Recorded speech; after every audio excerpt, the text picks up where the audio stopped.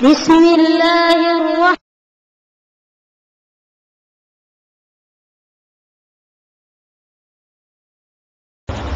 கண்ணியத்திற்குரிய எல்லாம் வல்ல அல்லாஹு ஜல்லஷானு தாலாவின் நல்லடியார்களே இந்த நாள்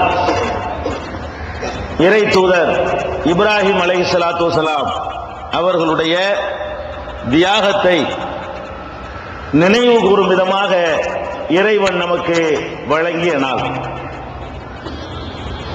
இறைவனுடைய தூதர்களிலே இப்ராஹிம் அலை சலாத்து வசலாம் அவர்களை அல்லாஹு ஜல்லஷானா மிக உயர்ந்த இடத்தில் வைத்து அவர்களை மதிக்கிறான் போற்றுகிறான்.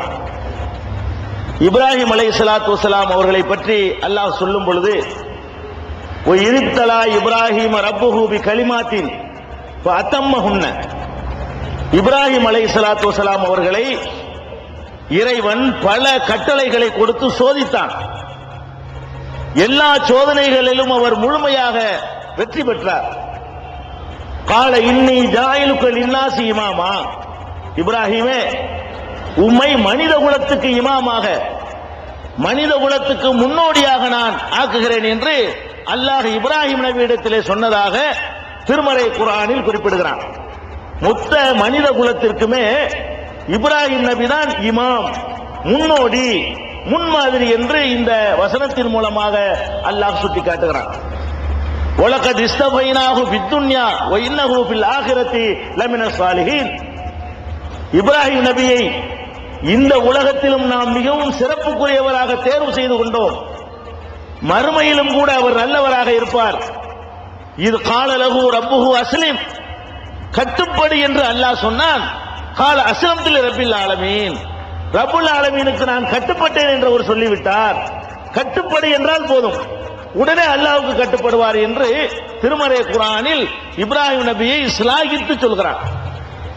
இப்ராஹிம் நபி அவர்களுடைய சிறப்பை பற்றி பல்வேறு வசனங்களிலே அல்லாஹ் குறிப்பிடும் பொழுது இன்ன இப்ராஹிம காண உம்மத்தன் இப்ராஹிம் என்பவர் தனி மனிதராக இருந்தாலும் அவரே சமுதாயமாக இருந்தார் என்று அல்லாஹ் சொல்கிறார் ஒரு சமுதாயம் என்று சொன்னால் பலதரப்பட்ட அறிவுடையவர்கள் சிந்தனையாளர்கள் எல்லோரும் சேர்ந்து இருக்கக்கூடியதான் சமுதாயம் என்று சொல்வோம்.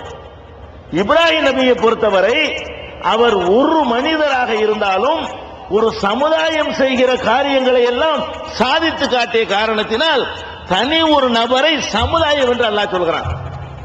இதே இப்ராஹிம் அலை சலாத்து வலாம் அவர்களை இத்தகதல்லாஹு இப்ராஹிம ஹலீலா இப்ராஹிமை அல்லாஹ் நான் எனது தோழராகவே ஆக்கிக் கொண்டேன்.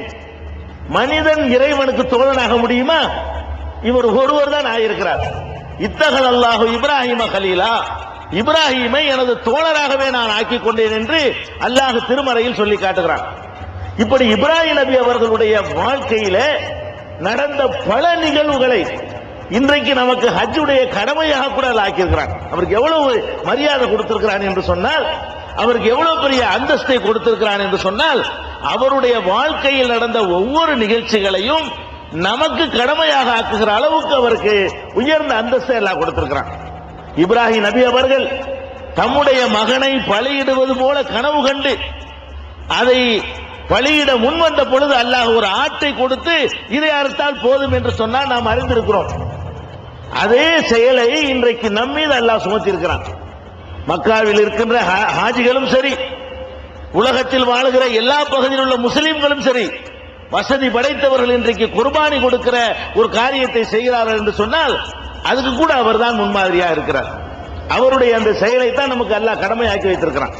அதே போல இப்ராஹிம் நபி அவர்கள் தம்முடைய மகனை பலியிடச் சென்ற பொழுது செய்தான் குறுக்கிட்டு அவரை கெடுக்க முயற்சித்த பொழுது சிறிய கற்களை எடுத்து வீசி அவனை விரட்டுகிறார். இறை தூதர்களுக்கு செய்தாங்கள் காட்சி தருவார்கள். நமக்கு செய்தான் காட்சி தராவிட்டால் கூட அந்த இப்ராஹிம் நபி அவர்களைப் போல எங்களிடம் செய்தான் வாழாற்றினால் விரட்டுவோம் என்ற அடையாளமாக இன்றைக்கும் மினாவிலே அந்த கல்லறிகின்ற நிகழ்ச்சியை முஸ்லிம்கள் நடத்தி கொண்டிருக்கிறார்கள். இஸ்லாம் அதை நமக்கு கடமையாக்கி இருக்கிறது இதுவும் அவருடைய வாழ்க்கையோடு சம்பந்தப்பட்டதுதான். மக்காவிற்கு செல்லக்கூடியவர்கள் காபா என்ற ஆலயத்தை தவாப் செய்கிறார்கள் அந்த காட்சியை பார்க்கிறோம். நமக்கு அது ஒரு கடமை. இந்த ஆலயத்தை கூட சிதிலமடைந்த நேரத்தில் அவரை கொண்டுதான் அல்லாஹ் புனர் நிர்மாணம் செய்கிற ஒரு வாய்ப்பை கொடுத்தார் அவர் எழுப்பிய ஆலயத்தில் தான் இன்றைக்கு நாம் தவாப் செய்து கொண்டிருக்கிறோம். அவருடைய குடும்பத்தாரை பாரான் பெருவழியிலே விட்டுவிட்டு வந்த பொழுது அந்த இடத்தில் அல்லாவுடைய அருளால் உருவான ஜம்சம் என்ற அந்த நீரை பருகுவதற்காகவும் அதை உலகமெல்லாம் எடுத்துச் செல்வதற்காகவும் முஸ்லிம்கள் போட்டி போடுகிற காட்சியை பார்க்கிறோம். இதுவும் அவருடைய வாழ்க்கையோடு சம்பந்தப்பட்டதுதான். அவருடைய மனைவி ஹாஜர் அம்மா அவர்கள் தன்னுடைய மகனுக்கு தண்ணீர் தேவை என்று ஏற்பட்ட நேரத்திலே இரண்டு மலைகளுக்கு மத்தியிலே ஓடுகிறார்கள். சபா மருவா என்ற சபாவிலே ஏறுகிறார்கள். யாராவது தண்ணீர் கொண்டு செல்கிறார்களா? வியாபார கூட்டம் போகிறதா என்று பார்க்கிறார்கள்.